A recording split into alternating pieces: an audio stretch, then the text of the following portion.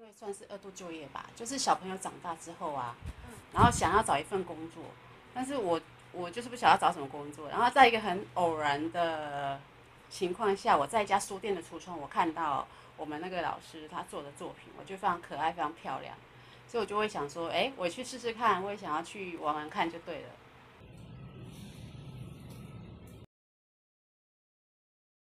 要去从事这个工作，其实我有碰壁很多，因为就是那时候的幼儿园啊，他比较没有办法去接受说我们粘土是独立出来的才艺，他觉得说我们是跟美术结合的，而且那个年代玩的都是陶土，对，很少人玩这种东西。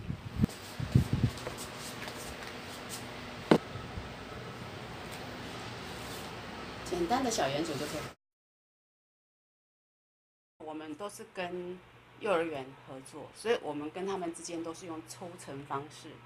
就是学校要一定的比例，他要赚一定的比例，你只要衡量在你的材料跟你的人事上 OK 的话，其实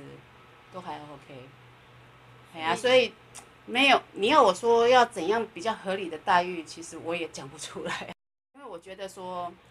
不要去计较太多了，反正你在这世界上会遇到很多种。人，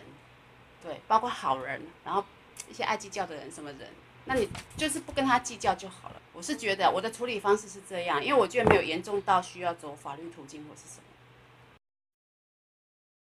呃，在疫情之前，其实我都会出国去，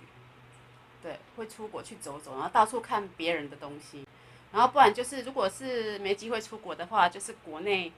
就是逛书店啊，然后有时候会突然有一个想法，然后就会。想到嘿东西怎么做，灰色的给他，让他去搓啊。但是搓的形状什么形状，我们还是会稍微指导他一下，让他